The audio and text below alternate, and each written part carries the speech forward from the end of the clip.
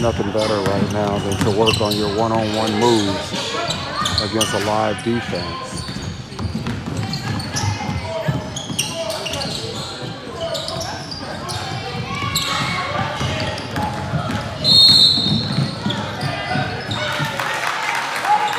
Good hand, way to have active hands on defense.